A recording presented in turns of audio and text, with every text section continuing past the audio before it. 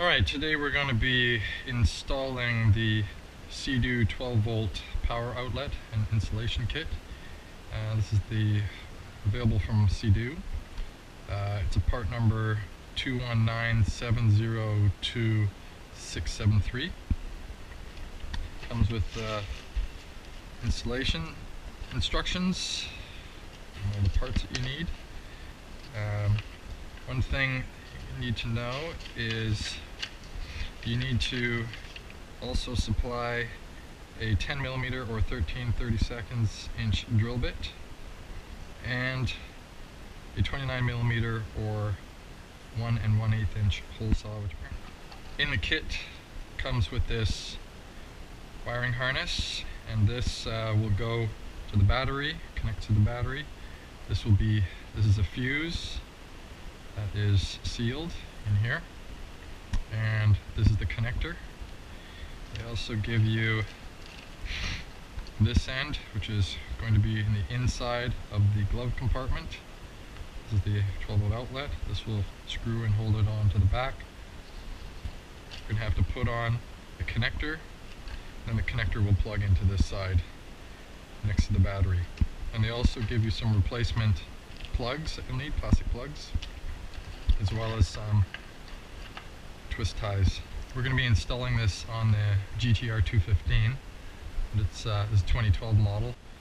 Okay, first thing they want you to do is to remove the seat.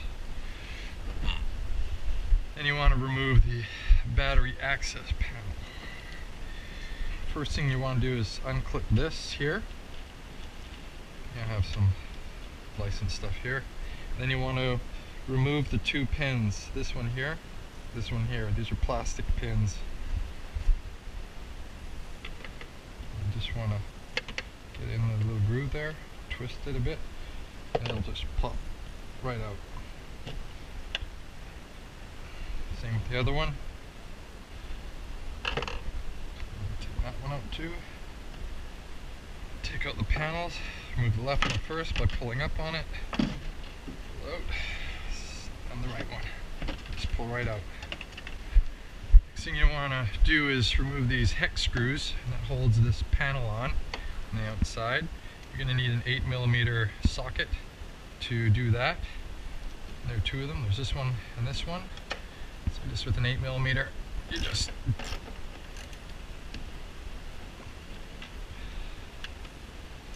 do not drop these.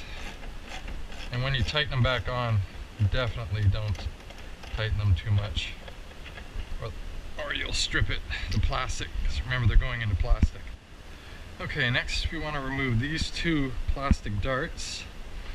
Um, this one you can access from the other side here. So I'm just gonna push it a bit here. So you can take them out with your finger. Try to get this off.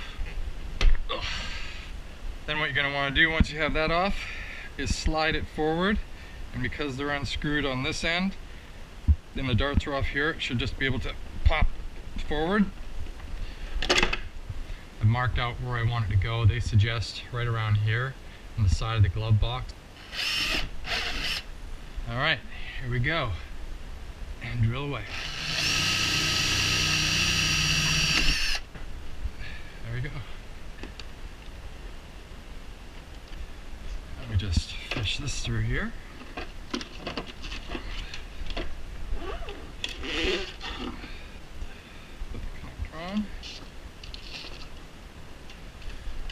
It just slides up like that. And you want to find the way it's going to hang. I think have it so that the, so that this flips up. So push it till it's nice and snug. So the key to this one is to get it as high as possible without wrecking this thing here.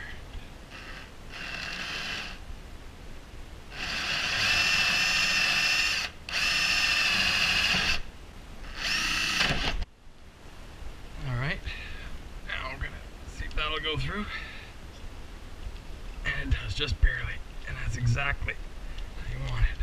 Now they want you to make this uh, relatively short connection from the out over here so it's not dangling around in front of the intake. Okay, the next thing you're going to do is unhook the battery. I'm going to take this off first by so I can get access to the negative terminal. Going to unplug it by pushing down here first and then we're going to take off the positive. So always remove the negative first and then the positive and then when you put it back on it's positive first, negative last.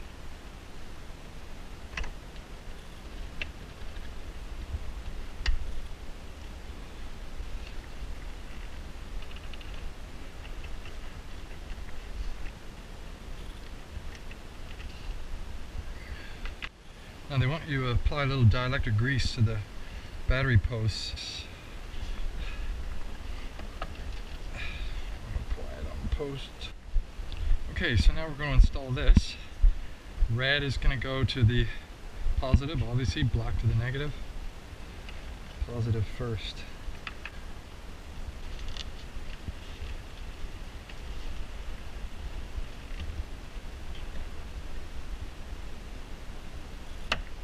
Remember to reconnect this thing, slide on in place.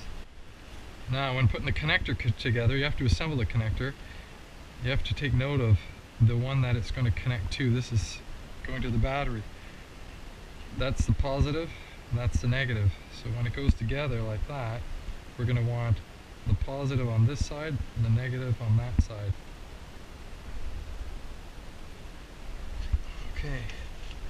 So, slight push till you hear a little click.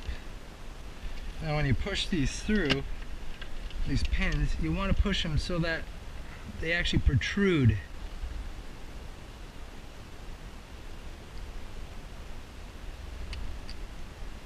So when it's done properly, you'll see that green tab is all the way in flush with the bottom and it's keeping pressure on those little pins there keeping them nice and uh, centered.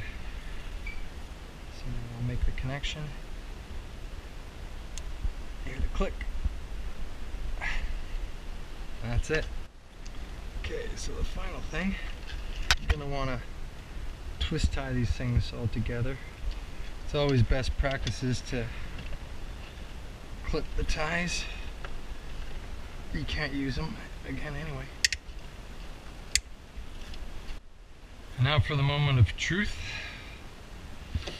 plug it in, see if it works before I start throwing everything together. I got an adapter. Oh yeah, charging.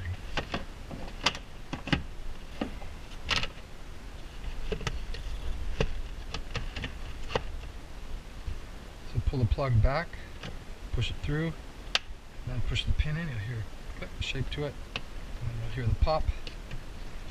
And then hook it back up. There you go. So I'm taking note of the how much they protrude because I don't want it too far out. I don't want it too far in. Careful not to scratch the paint. Okay, here we go. And not push it too far.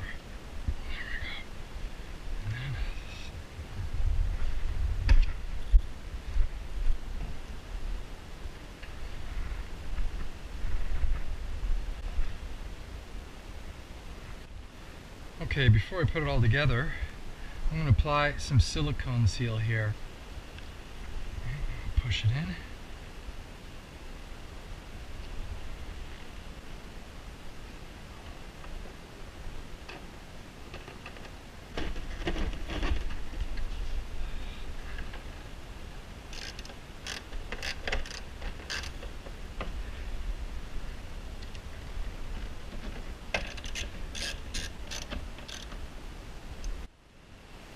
Last step.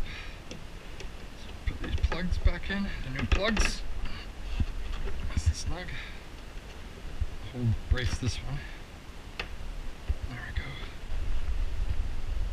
we go. And there you go. The 12 volt connector outlet. 12 volt outlet